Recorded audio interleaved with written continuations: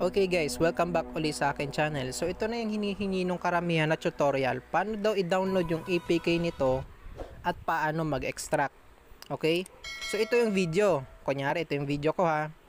So yung link na sinasabi ko is nasa description. So asan yung description? Pipindutin nyo lang yung arrow dito sa may gilid at lalabas na yung description. Ulitin ko ha. Yung arrow dito sa gilid. O ganun lang pipindutin nyo dito yung download XEPK. Okay? Ayan. After nyo mapindot yon lalabas, y- lalabas yung drive. Ayan, lalabas na yung drive ha. Open lang natin to sa browser para para malinaw, para malinaw natin makita. Okay? Ayan. Kita nyo yung arrow dito sa may gilid. Ah, gilid to, sa may taas. Pipindutin nyo lang yan. Ganun lang kasimple papapiliin uli kayo chrome yung pipiliin nyo. Ayan. At ito na yung lalabas okay?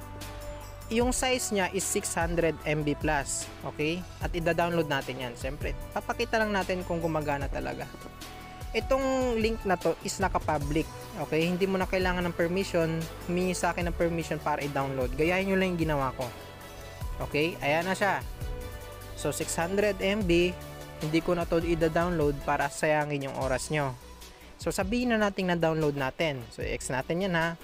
So gumagana yung link. So paano naman i-extract? Oh, 'di ba? Kung pupunta kayo sa Play Store, isa-search niyo tong app na yan.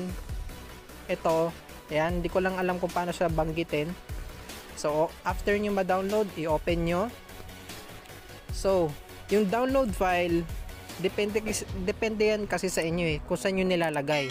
Pero pero kadalasan nasa download naman 'di ba? Ayan. Pero yung sa akin nasa SD card at saka games. Na yung file ko na games? Ayan.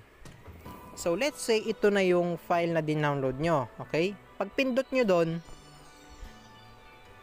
pindutin nyo yung extract here at hihingi siya ng password okay? Ayan. So kapag mali yung password na na, na nilagay nyo, hindi yan talaga mag-extract, mag-error yan. Okay? So yung so yung pangalawang tanong, saan makikita yung password? So makikita nyo yung password sa mismong video nitong YouTube. Nitong, ayan, for example, itong bus simulator. So, ang meaning ko dito, medyo mahaba siya. Kung makikita nyo 8 minutes. So, ah, uh, kumpiyensado talaga ako dito sa ano na to. Medyo napahaba ako siya eh uh, pinahaba ko kasi siya para may an, alam mo yun yung proof na gumagana siya.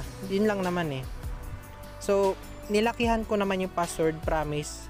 Pag pinanood nyo lang siya talaga na maayos makikita nyo kaagad siya. Okay so humingi lang ako ng pasensya sa inyo kasi 8 minutes pala yung video. So medyo mahaba talaga medyo kakain siya ng oras sa inyo. May mga another tutorial naman ako dito 2 minutes lang. Okay So, madali nyo makikita yung password dito. Dito, medyo konting tiyaga lang kasi 8 minutes. So, humingi lang ako ng pasensya sa inyo.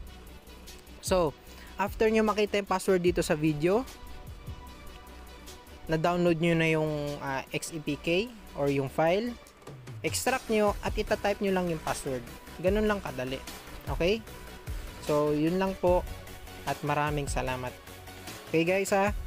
Okay na. Hi guys! Nagustuhan niyo ba ang aking mga video? Kung oo, i-like mo na at subscribe ang aking channel. Kung hindi naman, eh di tipaklo! Eh di tipaklo!